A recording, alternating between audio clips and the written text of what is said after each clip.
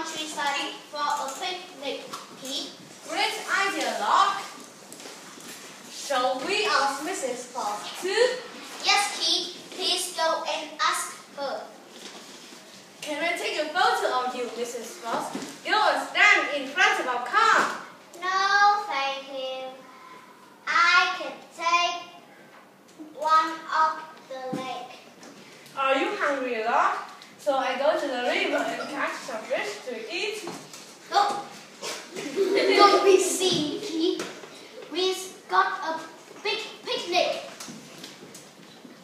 Are you cold, Mrs. Fox? Shall I put this blanket on you? No, thank you. It's hot.